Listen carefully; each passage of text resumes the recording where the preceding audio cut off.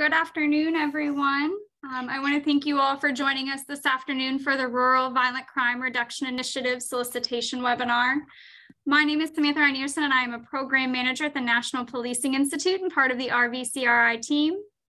Today, I'm joined by a couple of our partners and colleagues, one being John Markovic, a senior policy advisor with the Bureau of Justice Assistance, Amanda Burstein, Div Division Director for the National Policing Institute, and John Connolly, Senior Program Officer for Local Initiative Support Corporation, or LISC. A few logistics just before we get started with today's event.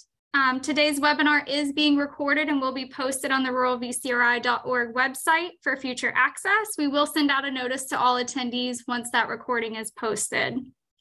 We have uh, muted all attendees to prevent background noise.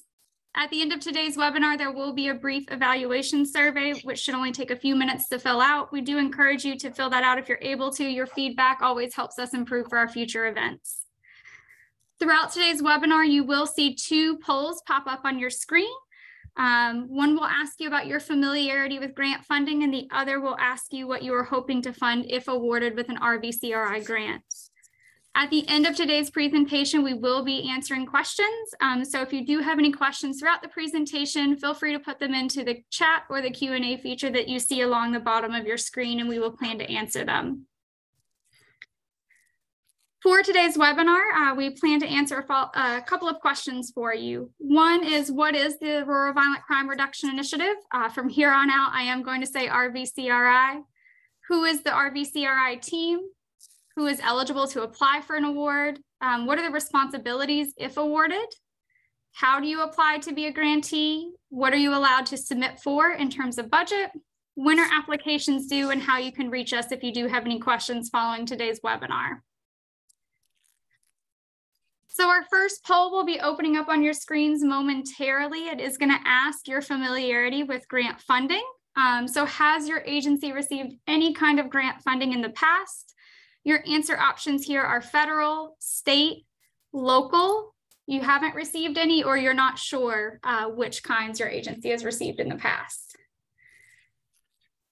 All right, I, I do see a lot of active participation already on the poll there. It looks like um, several of you have received grant funding in the past, pretty, pretty evenly split between federal and state grant funding there. Um, okay, Thank you all for taking the time to respond to that. Reggie, I think you can close that pull out for us. All right.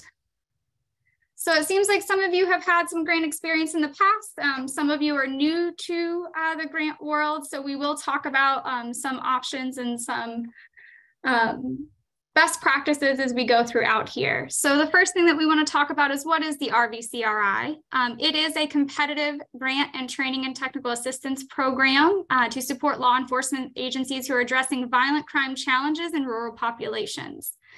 Um, so these grants can support various aspects of policing, including improving investigations, implementing violent crime reduction strategies, and enhancing collaborations between local stakeholders. Uh, the objectives are to help you in addressing those rural violent crime problems that you've identified, to help you fund and deploy various resources uh, to address those problems that could include personnel, services, or analytical tools, to document um, how those resources are being deployed and how they're impacting the violent crime that you have identified. Um, Awardees will have access to not only tailored TTA from subject matter experts to ensure successful strategy implementation, but you will also have access to a provider who's dedicated to helping you navigate the grant world and the reimbursement process. Um, in addition to that, you'll have access to no cost training and technical assistance opportunities, uh, knowledge sharing events, peer to peer networking, and a variety of other resources.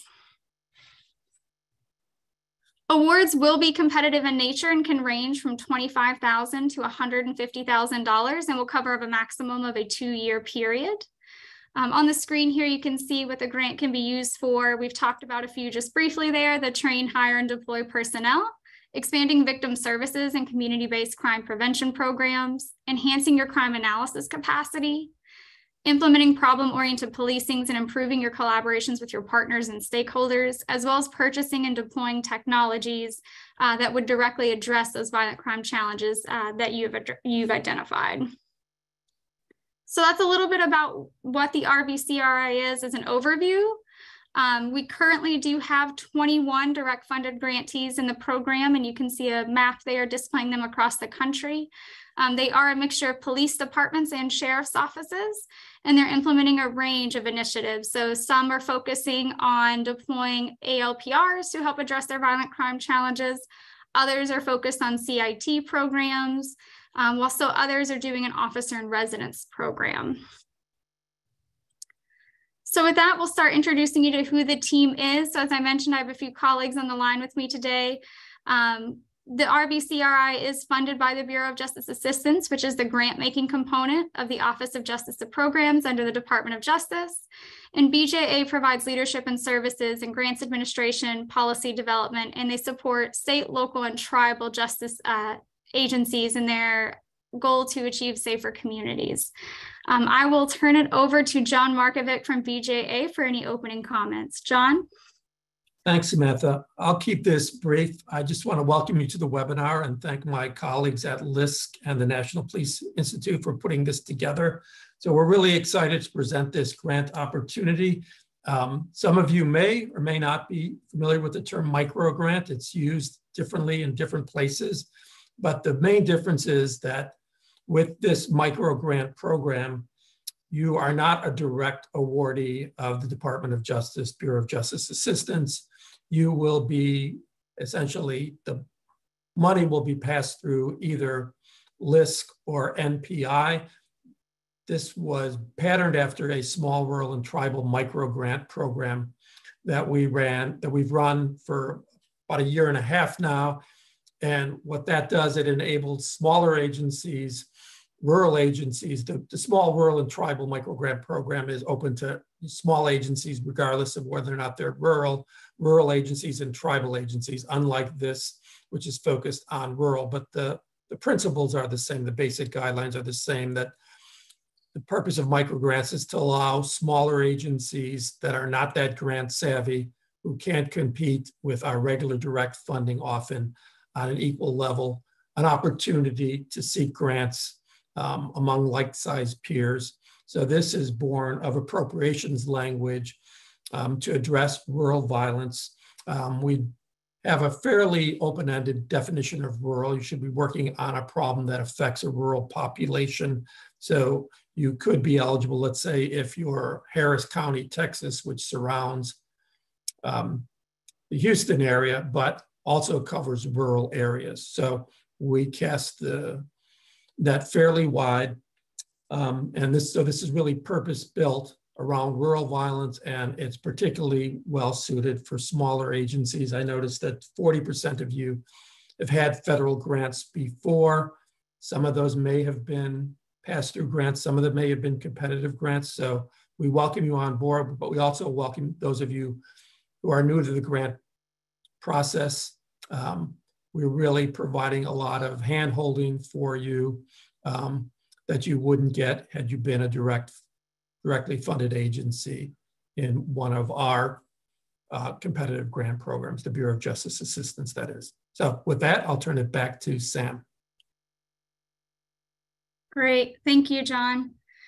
Um, wonderful. So I will turn it over to a few of my other colleagues to introduce the remainder of the RVCRI team. Um, so with that, I'll turn it over to Amanda. Hey everyone, thank you so much for your time. My name is Amanda Bursey. I'm the Director of National Programs here at the uh, National Policing Institute. Uh, we were formerly known as uh, the National Police Foundation, if that name is more familiar with you. We recently underwent a, a, name change after 50 years of, of being in this business and kind of reevaluating um, how our name represents what we do. But just to give you a, a little bit of background about our organization, we're the oldest nationally known nonprofit, nonpartisan and non-membership organization dedicated to improving uh, policing through science and innovation. Um, we've, as I mentioned, we've been around for over 50 years, um, and we were originally established in 1970 with uh, funding from the Ford Foundation. Uh, so it's our mission to uh, conduct research, but also provide training and technical assistance, particularly bringing evidence-based practices to the field. Um, and through this program, we will be doing much of the same. As John mentioned, um, it, this is an opportunity for our team and our partners uh, as training and technical assistance providers uh, to really uh, bring and make federal funding um, really accessible to uh, rural, tribal, and smaller agencies uh, through this opportunity. And while there will be requirements uh, similar to and, and requirements because it is federal funding, you uh, will get the benefit of the support of uh, NPI and LISC through this process. So we will be here to help uh, you through that and to try and make it as smooth as possible for, for you all to participate. So we look forward to working with you in the future and uh, answering any questions you might have. And I believe I'm going to uh, provide a little information about another partner that we have on board. Uh, we have partnered with the Small and Rural Law Enforcement Executives Association, which is a fairly new organization, um, but uh, their mission is to look solely at supporting and promoting law enforcement executives and agencies uh, in the small rural and tribal communities. So uh, again, just trying to ensure that our training and technical assistance is going to be very tailored for your needs and uh, the goals that you have outlined for your particular uh, agencies and potentially for the funding through this initiative with that, I believe I'm turning it over to John Conley at our partners at LISC.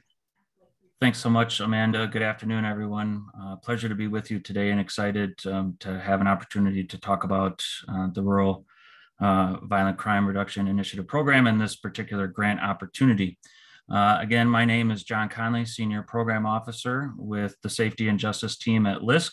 Uh, LISC, for those that uh, may not be familiar with our organization, stands for Local Initiative Support Corporation. We're a national nonprofit. We're one of the country's oldest and largest community development intermediaries. So what does that mean? We marshal public and private resources uh, and funnel those uh, in the form of grants, loans, and equity investments um, to community partners in the field. Um, historically, those partners have been community development corporations or CDCs, uh, but it has grown to include a number of other nonprofit and for-profit uh, partners. These partners are often working hand in hand with one of our 40 local offices across the country or one of our national programs. Uh, for example, Safety and Justice is LISC's oldest national program, uh, and we have supported dynamic cross-sector partnerships tackling stubborn uh, public safety issues in over 100 neighborhoods uh, across the country and communities across the country since 1994. Uh, LISC's approach is really meant to be comprehensive in the types of community and economic development investments we make in areas such as housing, businesses, safety and justice, public spaces, schools, health centers, uh, and, and more that really try to catalyze opportunities uh, in communities nationwide. And specifically uh, of interest to folks on the call today, want to make sure that we uh, highlight that LISC also has a rural program that serves over 2,400 rural counties across 45 states. Uh, they've been a historically a fantastic partner um, to the safety and justice team, but also specifically have provided uh, quite a bit of guidance to our team and, and continued support uh, for this program. And we anticipate that um, uh, to, to be a part of the work uh, moving forward. And so for the sake of time, I'll, I'll uh, conclude there, um, but happy to answer questions at the end of the of the event. And I believe also we'll be sharing uh, contact information and uh, happy to have follow-up uh, conversations uh, with interested applicants. And with that, I'll turn it back over to you, Samantha. Great, thank you, John. Um, I did see just a quick question while John was speaking about the link uh, to the rural program um, that's at the bottom of the slide. Uh, we will put that link in the chat for you all who are interested in that. Um, and then I do see some other questions regarding funding um, and match requirements, and we will be getting to that. So I promise you I've seen your question, um, and I will uh, we'll chat about that a little bit when we get to the budgeting slide. All right, so now you've heard um, about the partners that are a part of this team. So what is that team going to do for you as an RVCRI grantee if you're awarded? Uh, one, we will provide comprehensive recommendations to help ensure that what you're proposing um, in your narratives is accomplished. Um, we will create a repository of evidence-based best practices, um, which we have done by starting the uh, ruralvcri.org website. Um, and that will be updated on a regular basis with new resources. We have tried to target those resources to those um, to rural agencies. We will help you support the establishment of clear data collection processes to measure those outcomes. Uh, we'll provide grant management support like we discussed before. Um, I think you heard from both uh, John Markovic at BJA and Amanda, as well as John Connolly at LISC, that uh, we have tried to make this grant process um, one that is simple and manageable for all agencies. We will conduct regular uh, check-in meetings with grantees to track progress and identify any available TTA and peer learning opportunities. Um, so TTA as well as training and technical assistance. Um, and those peer opportunities in TTA could involve um, implementing community engagement strategies. Um, it could talk about enhancing your crime analysis capacity. Maybe you're interested in um, you know, pulling or analyzing data in a new way or using a new type of software. Um, it can really run the range here of topics uh, that you may be interested in. So now you've heard about what the program is from an overview perspective and you've met the team. So who is eligible to be an RVCRI grantee? Um, that and that is pretty broad. So it is any publicly funded rural law enforcement agency, local or county law enforcement agency that serves a rural population, any federally recognized tribal law enforcement agency, or any rural county prosecutor's office who is looking to address a rural violent crime program or problem.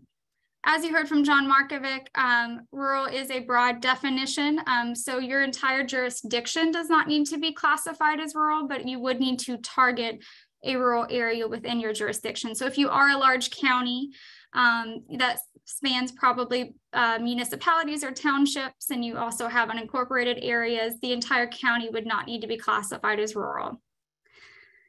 We do have tools on our website to act as a guide to help you determine if you are rural. If you have any questions um, or if that tool deems you as ineligible, please reach out to us. We're happy to talk through eligibility and to determine if you are in fact eligible to apply for the rural grant program. Know that that is a guide.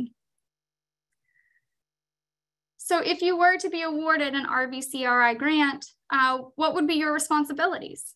Um, one would be to engage in regular contact um, with your TTA provider and funder, so either the National Policing Institute or LISC, uh, to provide regular reporting updates, which might include crime metrics, depending on your program, that allow for comparisons, um, you know, prior to the program being implemented, during, and then at the end. Uh, and again, we're here to support you with that, to help you determine what is the best way to collect that, um, what's the easiest way to collect that as well to help you purchase the equipment and services in a manner compliant with federal and local procurement guidelines. Um, so we do need to make sure that we're following those guidelines, but again, we are here to support you through that. To help you request reimbursement for your purchases through the award. Um, and here's where I'll answer some of those questions. It is a reimbursement grant. However, there is no match requirement um, for this award the reimbursement and invoicing guidelines of the grant will be supplied to you if you are awarded so that you can follow those. And again, each organization is more than happy to walk you through that process and assist you as you do those for the first time. We are required to follow all special conditions and government requirements of receiving a grant. And again, those will be listed in any award packages. Um, we will help you understand those and walk through that process as well to make sure that everyone is following all compliance purposes and then contribute to developing annual and or a final report that discusses your project progress, the successes that you achieved, potentially any challenges that you experienced, um, and how you overcame those, and then sustainability of the program or project. Um, you will work closely with the providers to help develop that. Um, so don't feel like that will be something that you have to take on on your own. So how do you apply to become a grantee? Um, you would visit the ruralvcri.org website um, there's a screenshot on the right there of the homepage just so that you know that you're in the right spot.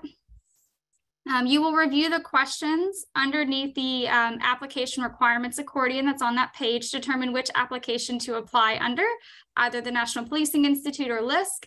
Um, each application has very similar requirements in terms of application questions, uh, the submission of a proposal narrative and a budget. And then you'll submit that completed application to us. If you do have questions along the way as you're looking at the application or you have questions as you're filling it out, please feel free to reach out to us. Again, we're happy to help you uh, complete that application and answer any questions that you might have.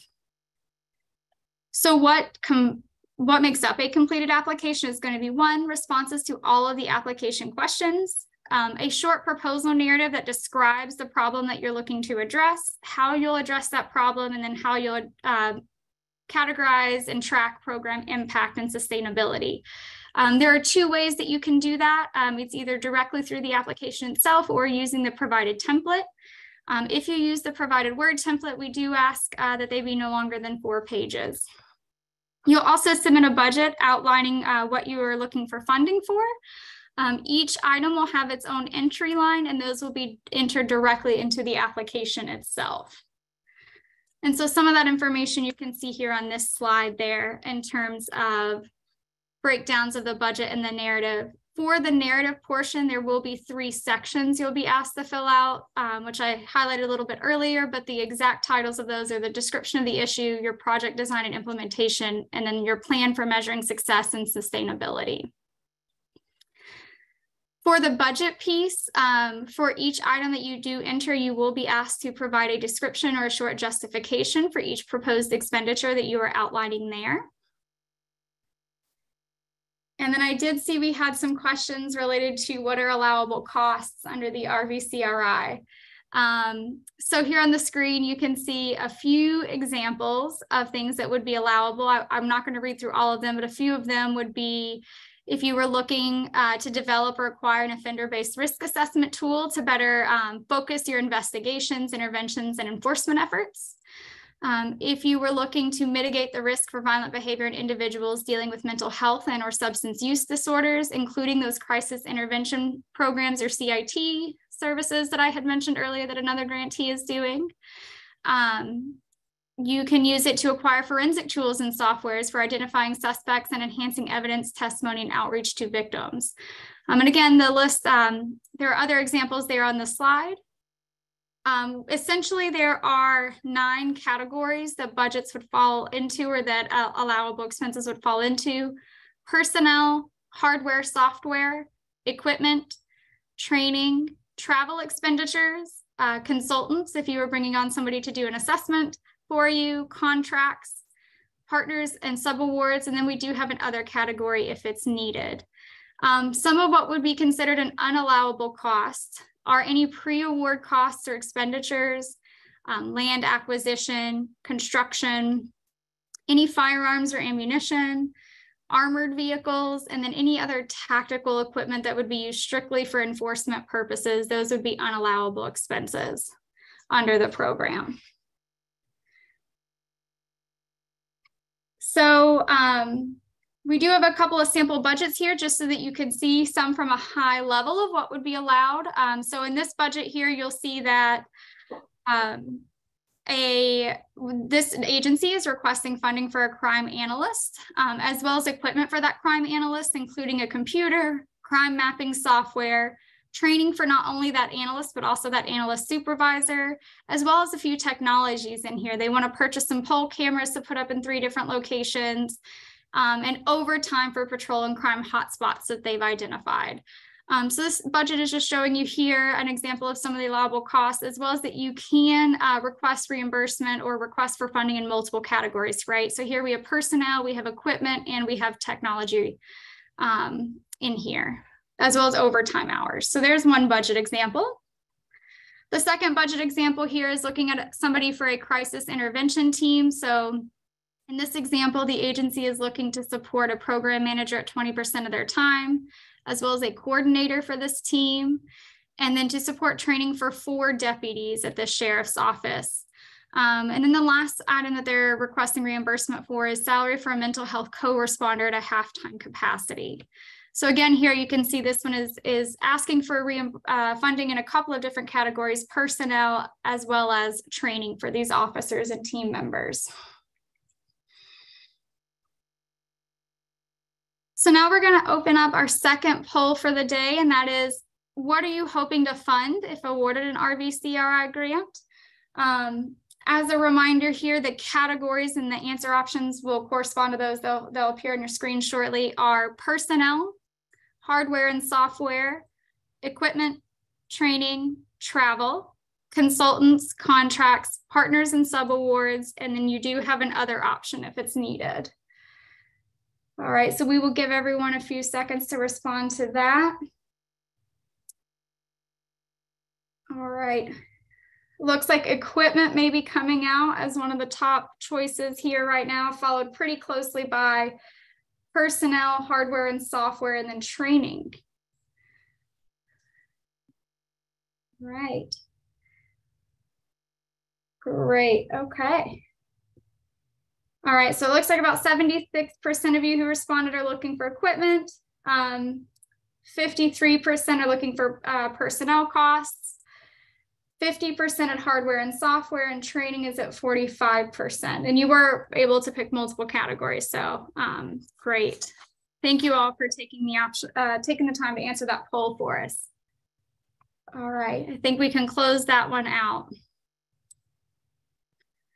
So when our applications due, um, the RVCRI application is always going to remain open. We will be taking applications on a rolling cohort basis. Um, so as long as the program um, is available, the application will remain open, but we will be reviewing applications on and awarding on a quarterly basis.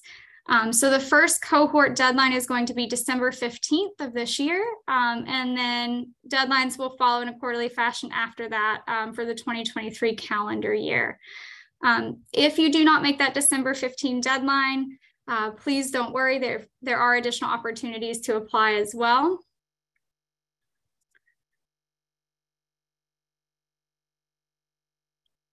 So how can you contact us if you do have any remaining questions after uh, today's solicitation webinar? We've listed a few of our contacts on there from the Institute. Uh, you can email us at our rural VCRI at Policing Institute email or reach out to myself and my colleague Reginald directly. Um, our phone numbers and email addresses are listed there. And then from LISC, uh, John Connolly would be your point of contact, and he has listed his phone number and email address as well for you all to access. Um, additional application application resources in terms of um, the templates that I mentioned for the proposal narrative, um, things like that are on each of the application portals for you to access. Um, so you will have those right at your fingertips as you um, apply for those. And we are always happy to provide any additional resources that folks need, so please feel free to reach out to us. Um, with that, I did want to leave ample time since it is a, a grant funding opportunity webinar to address questions um, from the field and from folks. Um, so I do see that we have quite a few actually waiting in the uh, in the Q&A feature here. So I'm going to start with those. Um, and the first one that I see here is, are drones and in-car cameras allowable purchases? Um, so I will weigh in as well, um, but I will first let John Markovic at BJA open up to that one. So John.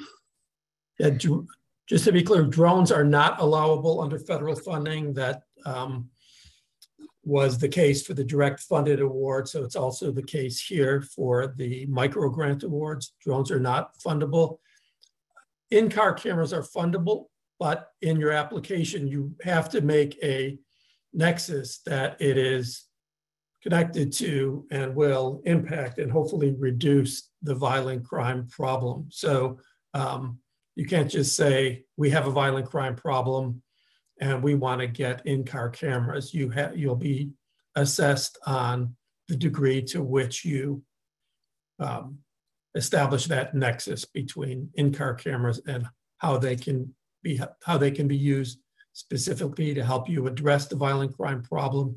And you know, you should set forth a plan that you'll do that in a way that will hopefully reduce violent crime problem. And then should you be awarded, the TTA providers would help you assess that impact. Yes, yes, absolutely. And I think um, tying tying your funding request to your program as well as John mentioned um, for any costs for any proposed expenditure um, we will be looking for that in applications to show that direct tie to your program and how it's going to address rural violent crime um, great thank you John um, so I see another question here related to eligibility and the definition of rural um, and the question specifically is related to state funded agencies. Um, are state funded agencies allowed to apply? Um, so it it is going to depend on the jurisdiction that you're serving, right? We said at the beginning, you need not need, need not be exclusively rural, but you do need to have a rural population and the funding would need to be focused on that population there. Um, so John, Amanda, we have two Johns, so John M, John C, or Amanda. Would anybody else like to weigh in on that? Yeah, I, would say this, while state agencies are, can apply, I mean, this is really geared towards agencies that, you know, have historically not gotten federal funding or wouldn't be, you know, as savvy or advanced in seeking federal funding. So I think a state agency can apply, uh, but keep in mind that the, the emphasis is on sort of A, addressing rural crime, and, B, on helping those agencies that have not historically been um, competitive in funding. We're thinking, you know, like the smaller sheriff's departments or um, small municipal police departments serving rural areas that, uh, you know, just don't have um, a grants person. Um, so we're really there. This is kind of the purpose of this program is to help them. Absolutely. Related to that, uh, we have a, a, district attorney's office representative on the line today that is uh, with a county agency who is classified as eligible by the tool online. Um, and they their question is, are they eligible to apply? Uh, we, we do allow for county prosecutors and district attorney's offices that are serving a rural population to apply. So um, yes, I would encourage you to apply to the award if you're deemed eligible by the tool. Yes. May I add to that? Yes, absolutely. It, it, as Sam has said a couple of times at this point, um, if the tool is telling you that you are not eligible, but you have a very specific mission or, or program in mind around your the rural part of your jurisdiction, we would also encourage you to consider applying because I, I you know, some agencies are technically large, but um, serve a large rural area too. So um, don't go just by the tool, but yes, in this case, um, with this particular question, you were deemed eligible anyhow. So, yeah, absolutely. Okay. Our next um, question, it looks like it's pretty specific to an agency that um, appears to be too large to qualify for rural grants. Um, I would encourage you to reach out to us um, and give us a little information about your, your, your agency. Um, and we can help walk through and see if you are in fact eligible for the program. Um, so do reach out to us at that rural VCRI email address. Our next question is, is there incentive for grantees to engage with the community to address prevention and diversion and not just enforcement? Um, I'm going to chime in a little bit and then I'm also going to turn over some colleagues here. Um, we do always encourage community engagement, right? You are you are a public uh, service agency, so community engagement is a good component to have to your program. Um, I, I don't know that I would go so far as to say an incentive, but I do think it is an important piece to have there. Um, with that, I'll let John Connolly from LISC weigh in a little bit on that piece. John?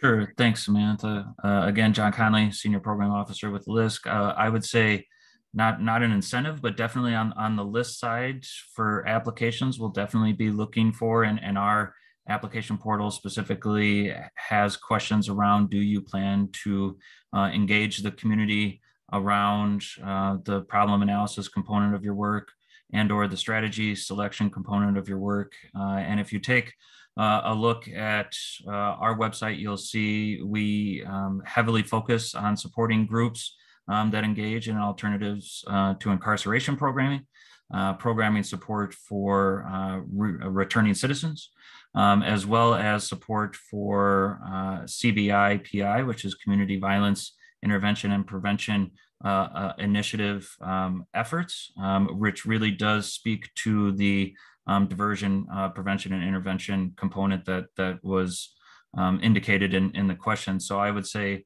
definitely if those are areas of interest for you as you're considering an application, uh, we would on, on the LISC side definitely welcome that. Uh, and if you have further questions around uh, how to put together an application that includes those components, I, would be happy to to have uh, additional um, uh, discussions with with prospective applicants. And let me chime in there. I definitely we'd encourage those holistic approaches. And I think tying into other questions, I see Jason King has you know, the definition of a violent crime, uh, referring to our IBR classifications. We don't have a rigid definition of violent crime. It's really, and it's, you know, we're kind of defining it more broadly as violent crime problem. So for instance, um, you might have a, you know, in rural areas, providing services to domestic violence uh, victims is often difficult um, because of a lot of reasons in the literature, but you know, there's the lack of anonymity that you might have in an urban area. There's not um, as many resources. Um, so um, to provide specific outreach and plans to develop um, more holistic or responsive uh, responses to domestic violence that um, you know overcome some of those rural challenges would be something that would definitely fit under the spirit of this grant program.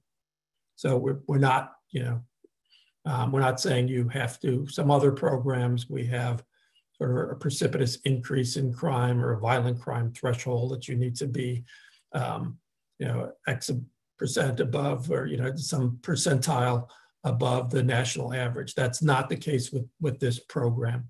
Um, it's really more open to violent crime problems. Again, you know, you use your narrative to make the case that there is a violent crime issue that you're dealing with and that the program and the funds that you are proposing have a nexus to that violent crime issue and again will be used in an attempt to reduce violent crime or the violent crime problem. So you might, you know, the problem might be the lack of services for domestic violence victims. So your goal uh, might, you know, hopefully be to reduce domestic violence, but it's also the more immediate goal of providing better services for uh, domestic violence victims.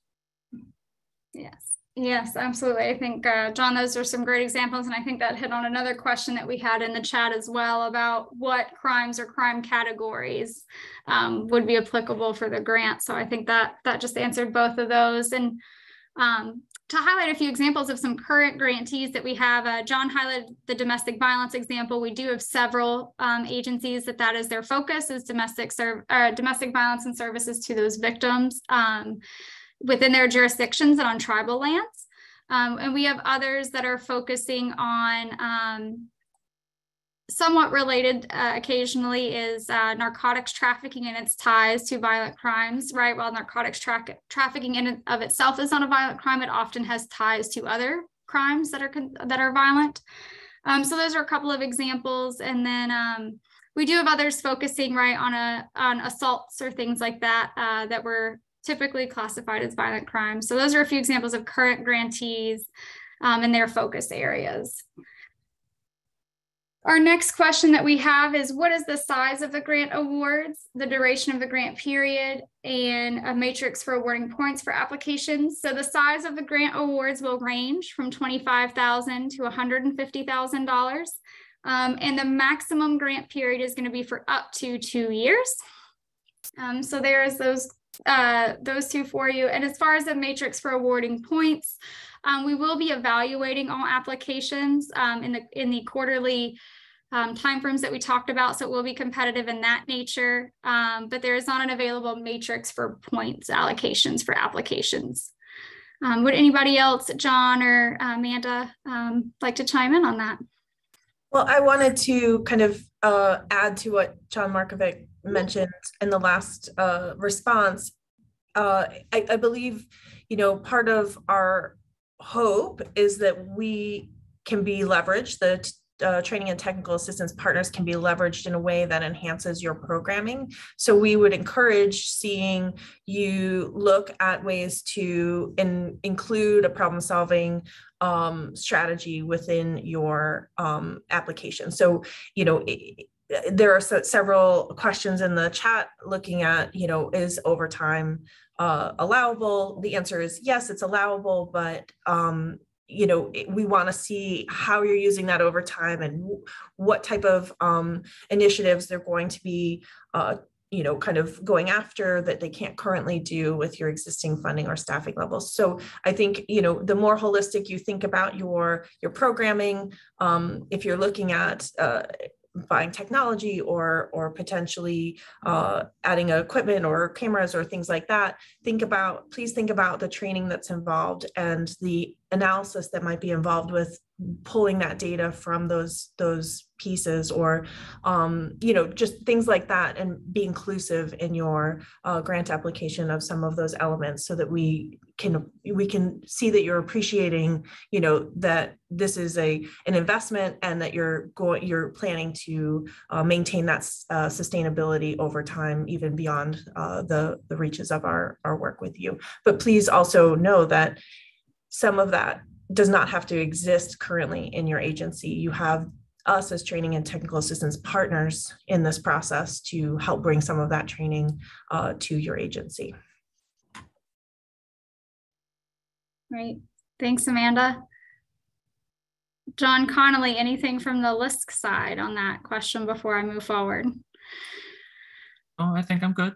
Okay, perfect. Let me interject here, Sam, a little bit because I see a few questions about population cutoff and population size. So Yeah. we don't, there's no question on that. Again, it's sort of the idea is that you, you could be, uh, I just use the example because I've worked with um, the Harris County Sheriff's Office, uh, which surrounds Houston, um, which has many highly urban areas as well as rural areas. So if you were to apply as an agency such as that, you would need to make the case that your um, that the problem that you're addressing is in a rural area and it's affecting rural population. So uh, we don't have, you know, a cutoff, a, a definition or a population cutoff per se, but the nexus, that sort of establishment of rurality or ruralness, uh, rurality is a tough word to say, uh, needs to be established in your in your application. And um, you know the um, there is a tool where you can check whether or not you you qualify as rural based on um, some census related related definitions. But um, there's also the TTA providers NPI, National Policing Institute, and LISC are there to help you sort of navigate that because we realize it's a open-ended and, and nebulous definition. Yes. Yes.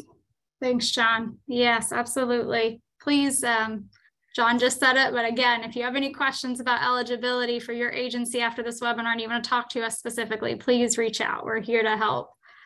Um, Okay, our next question is after an application is submitted, what is the process? How long does it take to hear back and how long does it take to receive the funding? Um, so that's a great question. Um, we will be evaluating um, and reviewing uh, applications pretty quickly after the December 15th um, cohort deadline, and we will get those awards out as quickly as possible and notifications. Um, if you are notified, uh, that you that your award was selected and awarded, you will be asked to respond pretty quickly in terms of if you plan to accept the award uh, post notification there.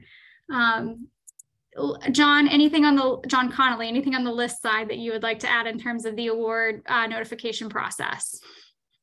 Yeah, I would just echo. We will uh, do our very best to to make um, funding decisions um, quickly and then follow up with folks and anticipate uh, awards uh, early in the new year. Um, uh, yeah. Perfect. Great, thanks, John. Um, and I think that that same statement will apply. Um, I haven't seen all the questions yet, but I'm sure there is in terms of reimbursement. When you do request uh, for the funding reimbursement, both agencies will try to make those as quickly and efficiently as we possibly can. Um, so there's that piece.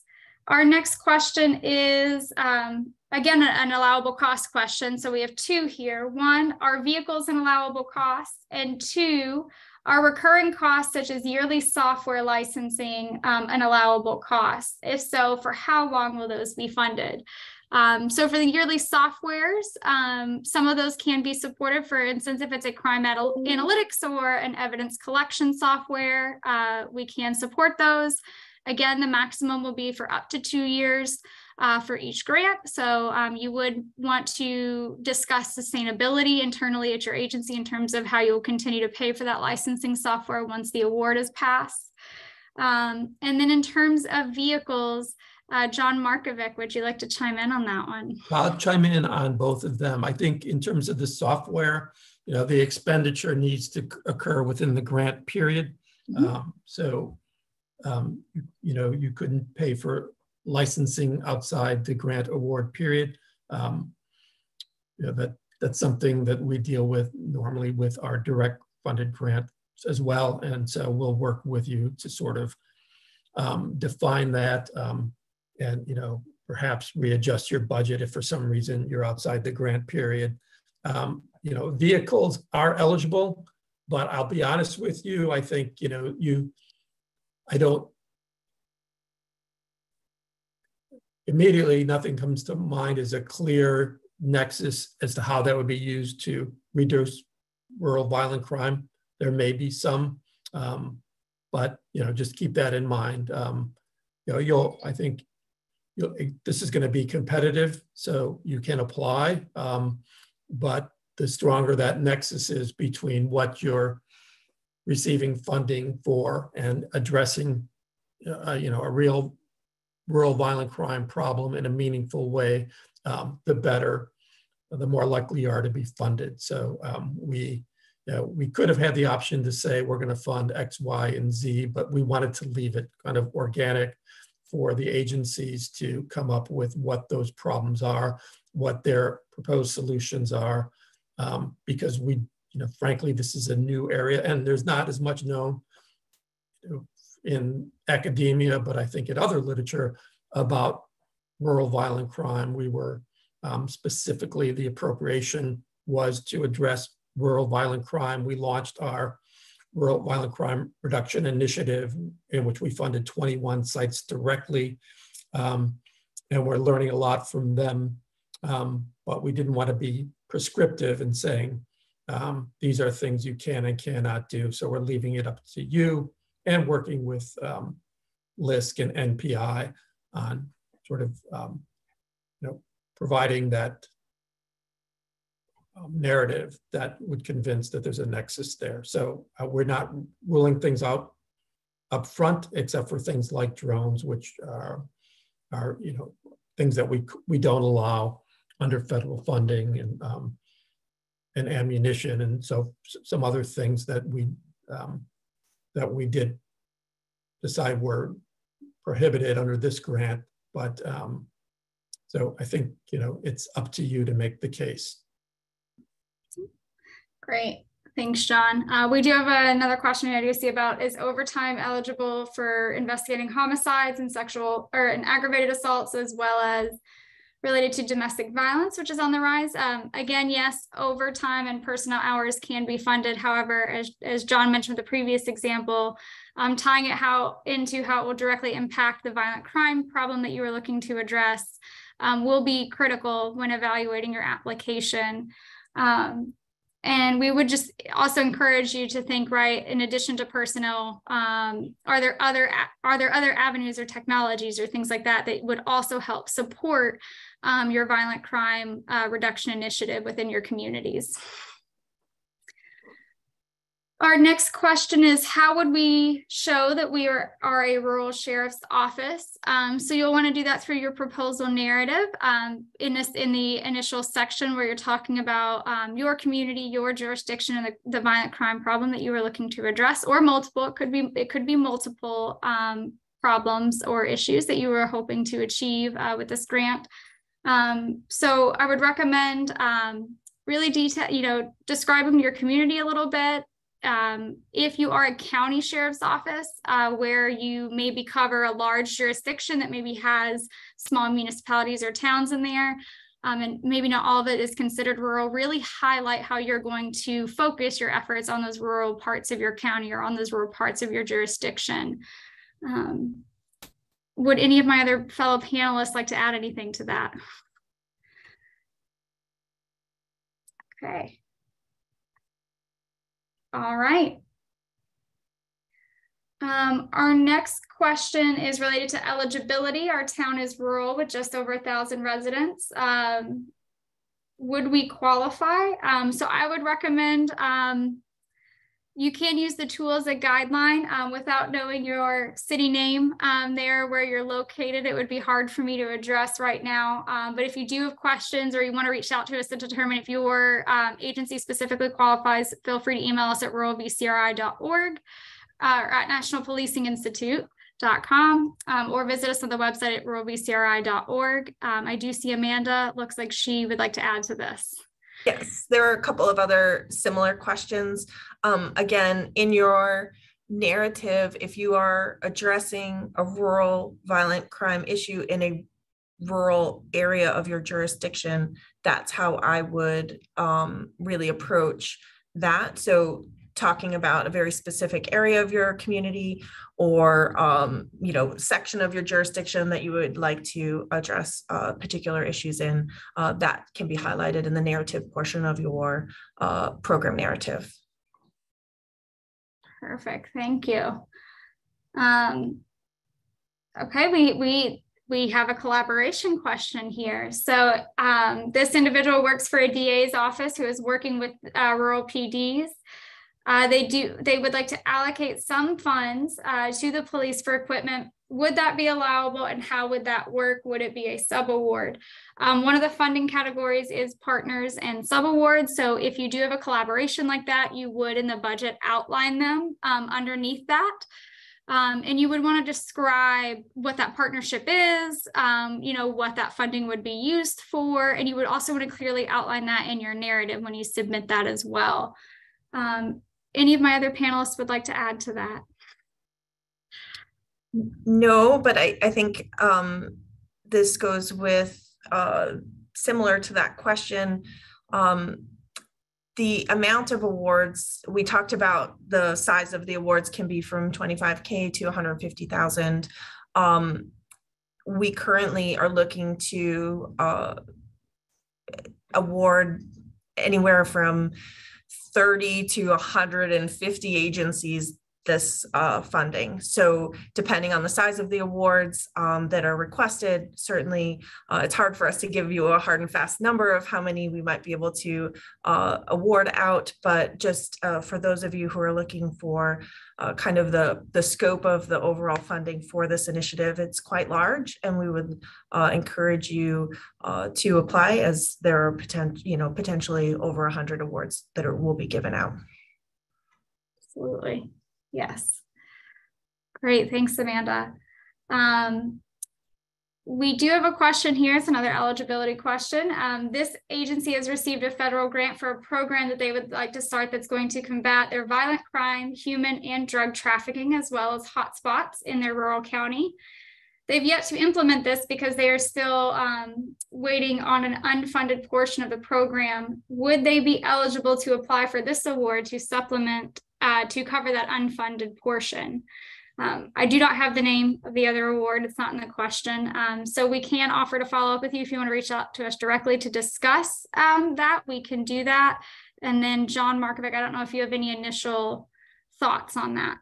Well, the way it, the question is phrased, it sounds allowable. I mean, what, you know, we're sort of, um, as a micro grant program, um, you didn't get the same type of solicitation language you would get if you were doing direct funding. And that direct funding would maybe mention that you can't supplant or it would point you to the grant's financial guidance, um, which is a, you know, a, a, um, a detailed um, guide, including definitions of supplanting and things like that. So um, essentially, if you've budgeted for the material or the money is being provided by another grant, you, um, I'm sorry, if you, if, if, you, if you have a budget for the material, let's say you wanted to buy, I saw pole cameras in there and say um, you wanted to buy pole cameras to increase surveillance and re, re, reduce, you know, with the idea that would reduce violent crime.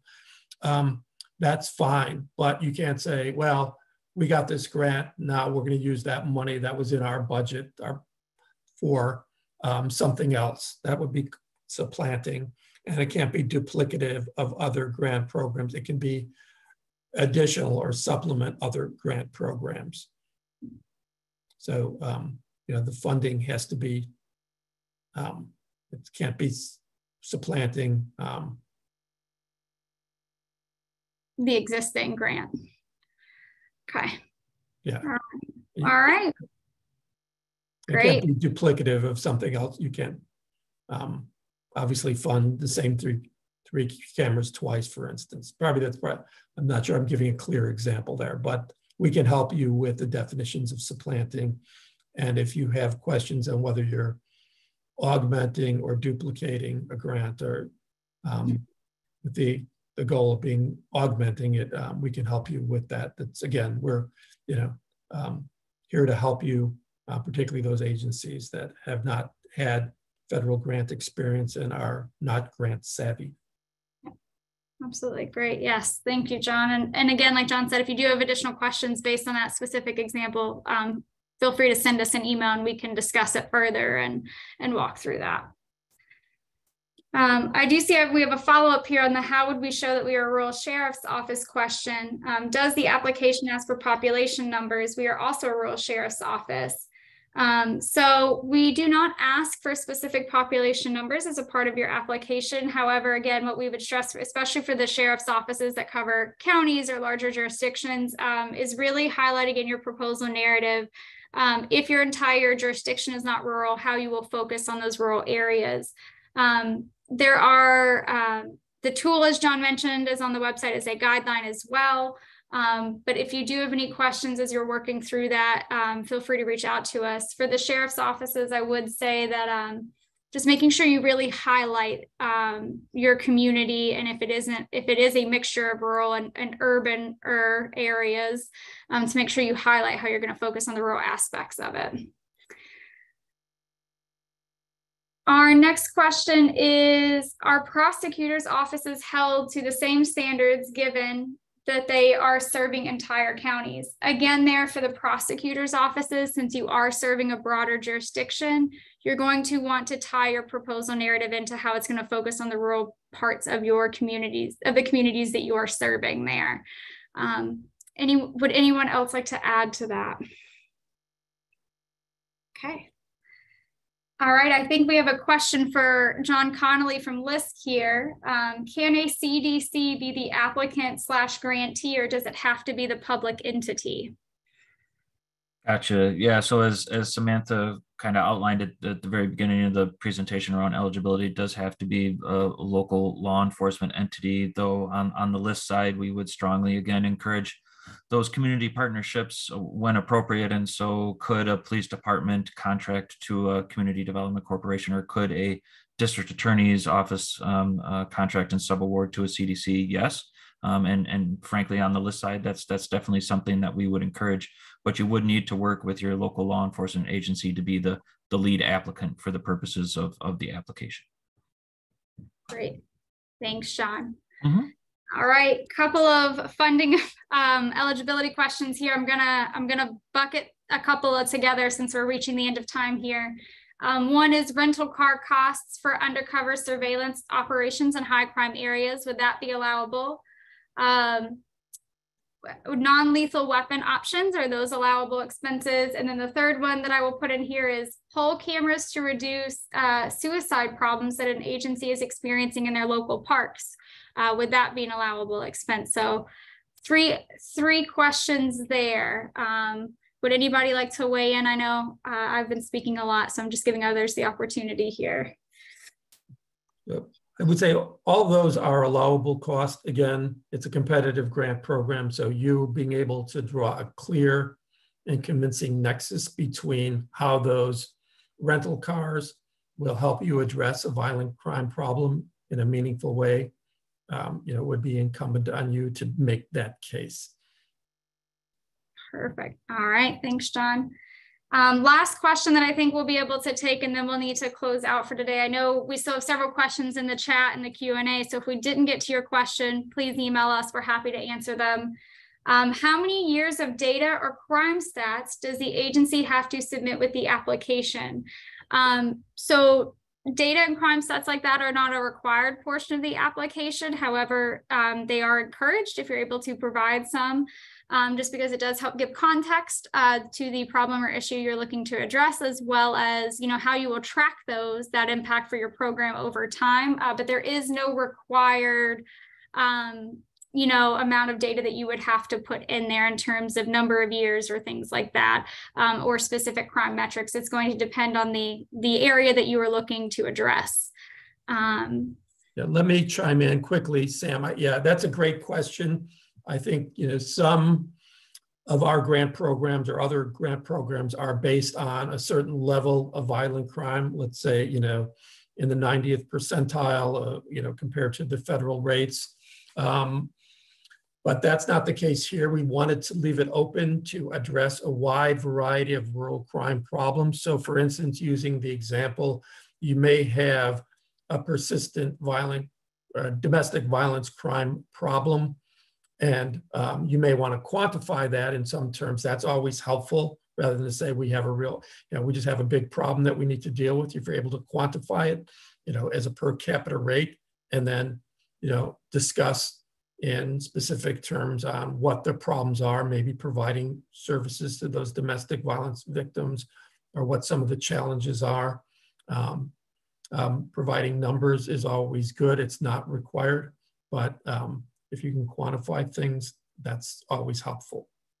yes So- You know, um, maybe you know if you're a small jurisdiction, um, you know, defining you know how large that problem is relative to your population, you know, per capita rate would be helpful. And if you can compare it to national data, that's fine. But um, I think there are some problems that you may need help with that aren't easily quantifiable in in terms of traditional crime rates, like the domestic violence.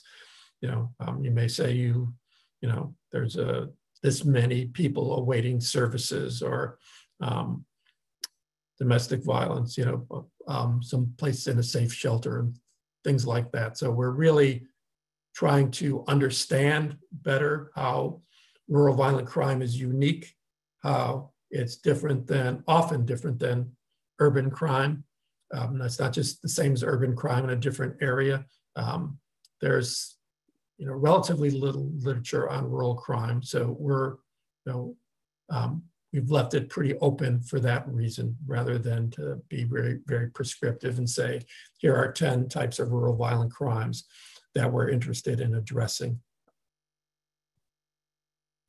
Great. Thank you, John, for adding that in.